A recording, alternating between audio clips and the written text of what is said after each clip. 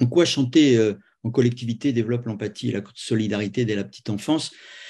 Tout simplement parce que, là encore, c'est faire ensemble s'accorder, hein, cette dimension de l'accordage, qui est un, terme qui a été repris euh, notamment par Daniel Stern, euh, in, tune, s'accorder.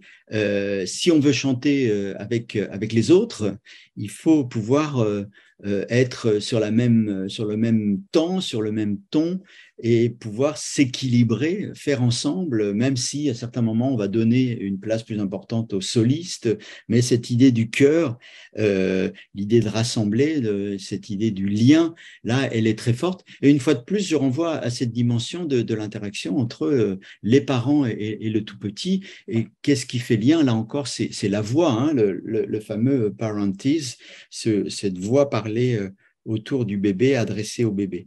Et, je pense que cette dimension de, chanter ensemble euh, me semble essentielle dans, la petite enfance. Et c'est, euh, je vais me redire encore une fois, hein, c'est le fait de, d'être en accord avec soi-même, avec son corps, avec, avec les autres, se sentir euh, en même temps unique et faisant partie, de, faisant partie du groupe, chose qu'on va retrouver moi qui, suis musicien et qui accompagne euh, des chorales euh, avec des personnes euh, d'âge plus ou moins avancé, on retrouve encore cette recherche de, du faire ensemble. Hein, et il n'y a pas plus, je dirais, plus facile que la chorale pour faire ensemble sans avoir forcément de connaissances musicales techniques, sans avoir fait dix ans de conservatoire. On peut chanter ensemble parce que c'est un acte naturel.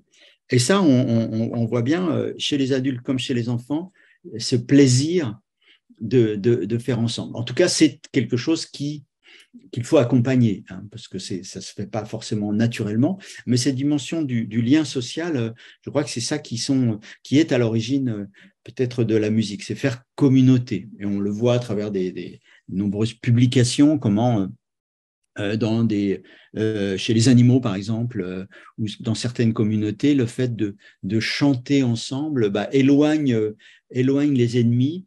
si on chante faux, l'ennemi va se dire bah, tiens, ils sont pas ils l'air de bien s'entendre, donc on va pouvoir aller les attaquer. Cette communauté est fragile, alors que si on chante bien en ensemble, on, on, montre notre force. Hein, c'est intéressant sur le plan éthologique d'observer ces, choses dans le monde animal ou dans certaines, dans certaines communautés euh, un petit peu coupées du, du, monde moderne, j'allais dire, euh, industrialisé.